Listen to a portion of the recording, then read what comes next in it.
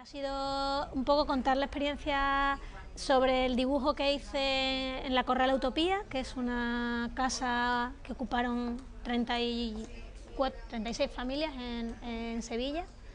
Eso fue una ocupación que duró 500 y pico de días, dos años, en, el 2012, cuando en plena crisis y tal. Entonces estuve dibujando allí a las familias, las historias de, de cada uno y, y bueno, pues entonces sabía Luis que yo había escrito sobre en el blog sobre esto y como hago mucho dibujo de, calle y de gente y demás, pues me, invitó a participar en el, curso. Yo dibujo por conocimiento de las cosas, entonces esto fue una historia que surgió allí en Sevilla que no que estaba un poco eh, silenciada porque no en los medios españoles no aparecía, apareció luego al final.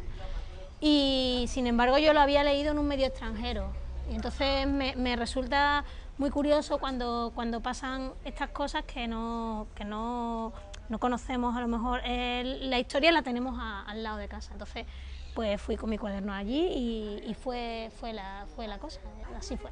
Yo creo que tiene que servir, si cualquier, cualquier manera de difusión de las cosas tiene que servir, o sea, y yo espero que sí. Yo, a mí me sirve, no sé.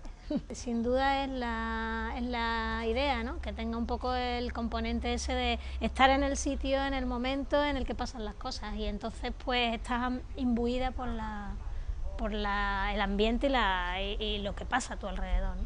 Yo, yo, qué sé, yo lo he hecho de siempre, pero la, la suerte de encontrarte con otra gente que hace lo mismo y ya no parece que estés loco, está muy bien, porque cuando vas dibujando eh, por la calle la gente se queda un poco así. No, no, no sé, estamos acostumbrados a que la gente haga fotos y no pase nada, pero el dibujo ya, la gente que dibuja ya es como que cosa más extraña. Yo lo he hecho siempre y ahora que veo que todo, mucha gente lo hace, pues está, está, está muy bien.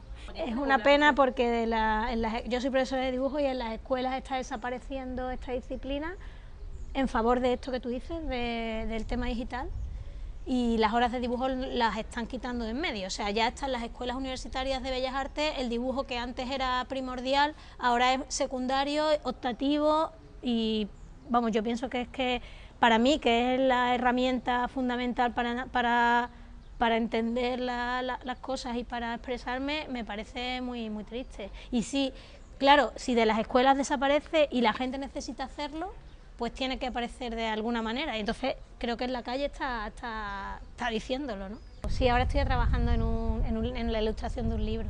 Sí, pero me pasa esto que decía, ¿no? Que como estoy acostumbrada a dibujar en directo, cuando tengo que sentarme en la mesa me cuesta ya me cuesta trabajo dibujar desde, desde algo que no sea experiencial. Pero sí, ahora estoy haciendo un, un libro, una historia muy bonita de José Conrad.